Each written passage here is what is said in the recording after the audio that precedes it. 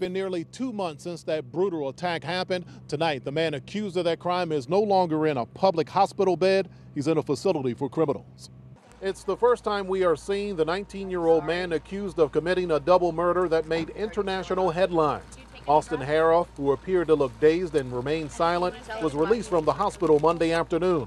Deputies from the U.S. Marshals Fugitive Task Force were there to take him to the Martin County Jail. So we charged him with two counts of first degree murder and one count of attempted first degree murder. On August 15th, Harouff was found by deputies biting the face and body of John Stevens in Stevens' Jupiter driveway. Stevens' wife, Michelle Mishcon, stabbed to death in the garage. Deputies say Harouff also stabbed a neighbor who tried to help. We've been in constant contact uh, with uh, our female victims' mother and father. They've been very concerned uh, that, that he hasn't been arrested yet.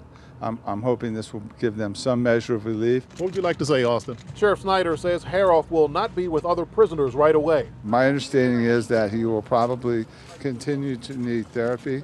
Uh, we've made it clear to the hospital that this is a jail. This is not a, uh, a therapeutic uh, place to be. I suppose that because he's in medical, there will be some extra charges. We won't be able to put him into general population immediately.